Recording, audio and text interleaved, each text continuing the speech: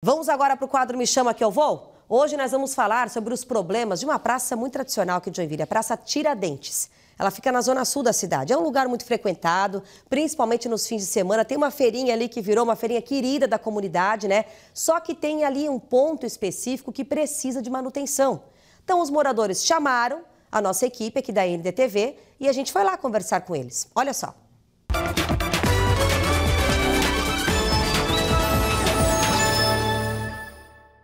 Hoje a gente está aqui numa das praças mais tradicionais, bem conhecida da cidade, que é a Praça Tiradentes, que fica aqui no bairro Floresta. Por aqui acontece feirinhas, o pessoal vem, tem pista de skate, mas a gente veio num lugar muito específico da praça, que é esse aqui, ó.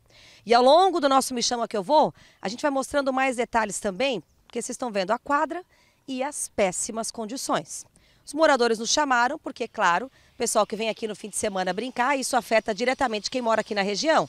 A gente está aqui com a Larissa, a família dela mora há mais de 30 anos aqui. E fim de semana, como é, Larissa, a situação? Como eu disse, é bola para um lado que sai no meio da rua e tudo mais. Sim, as crianças brincam aqui com frequência nos finais de semana. Essa praça é muito importante para nós.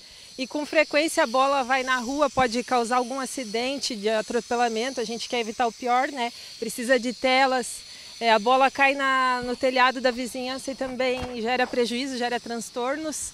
E antigamente aqui tinha uma estrutura boa, assim, com bancos, lixeiras, e eu sei que a prefeitura já está desenvolvendo um papel importante aqui na, nas praças de Joinville, só que esse cantinho específico precisa de uma celeridade no projeto de reestruturação.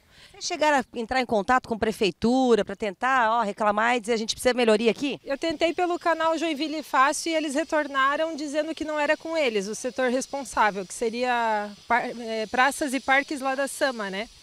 E agora... Mas se tem aplicativo, deveria pelo menos ter a resposta ali, né? É, e ali não veio a resposta infelizmente. Tá aí. A gente sabe que tem muito vandalismo, infelizmente, né? Que isso acontece, acaba gerando. Os moradores também estão aqui. A gente está com a dona Deneir, também com a dona Fátima, que a situação é complicada, mas o Adriano vai conversar um pouquinho mais com a gente também, porque isso afeta o dia a dia de um lugar que é para ser de lazer, né? É, afeta diretamente a toda, toda a comunidade, na verdade, né? Principalmente que é uma praça familiar, então a gente precisa dessa estrutura para atrair cada vez mais essas famílias, né? Então, assim, o que falta hoje para Joinville são essas praças, principalmente aqui na Tiradentes, que é uma praça bem, bem populosa, é, que a, o pessoal é, vem final de semana assim, é lotado as praças e as condições nós não temos nenhuma para aderir a alguma atividade para as crianças. Né? Agora tem ali uma quadra de areia, ali também a água quando chove? Ali não tem drenagem nenhuma, então choveu é uma piscina completa.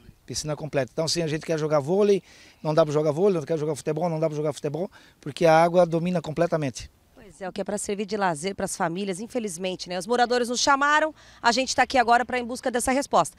A gente tem alguns questionamentos aí. O primeiro deles, claro, é a situação da quadra, das duas quadras e por outro lado, se vai no aplicativo, faz o registro, aí diz que não, não é responsabilidade do aplicativo, mas da SAMA, como explicar, né? Como esclarecer também essa situação. Praça Tiradentes, muito conhecida, tradicional, está pedindo por melhoria nas quadras e nós vamos atrás agora da resposta. Tá, ali, estivemos no local, conversamos com a comunidade e a Prefeitura de Joinville trouxe a resposta, viu? A informação por parte da assessoria é que tem sido feito ali investimentos constantes na Praça Tiradentes. Recentemente foi concluída toda a melhoria na iluminação do local, que já ajudou bastante, que quer ver o quesito de segurança, né? Foi trocada também a infraestrutura subterrânea e realizada a substituição dos postes metálicos por postes de fibra de vidro, que são anti-choque e anti-furto. Além disso, também foi concluída a instalação de luminárias de LED nas quadras da praça e feita uma melhoria na estabilidade do sistema elétrico do local. A pista de skate também passou por reformas, e a gente lembra que mostrou até, inclusive, já outros investimentos, manutenções dos brinquedos, dos equipamentos da Academia da Melhor Idade, também foi realizado, tá? Tudo isso pela unidade de parques e praças. Agora, a Prefeitura informou o seguinte, existem dois processos de licitação em andamento. Um deles para a contratação de telas e alambrados e outro de drenagem e recolocação de areia, que daí sim vem a melhoria para as quadras. Com relação à reclamação ali da moradora que a gente ouviu né, sobre o registro na ouvidoria, a Prefeitura de Joinville informa que no aplicativo Joinville Fácil é possível acompanhar o andamento do processo.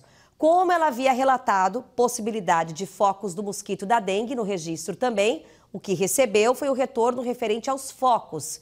A Vigilância Ambiental esteve no local, informou que não foram identificados focos do mosquito da dengue, que bom, né? E quando é feito o registro na ouvidoria, a demanda é encaminhada para todas as secretarias envolvidas. Como o processo ali, se entrar no aplicativo, vai estar aparecendo em aberto, aí logo também deve receber o retorno da unidade de praças e parques referentes às manutenções que ela solicitou. Talvez por isso aparecia isso, né? Que está sendo encaminhado, que quem vai responder é a unidade de praças. O que a gente pede para a comunidade, como a gente sempre conversa aqui, depois que a gente vai ali em alguma determinada rua, ou nesse caso na Praça Tiradentes, acompanhe.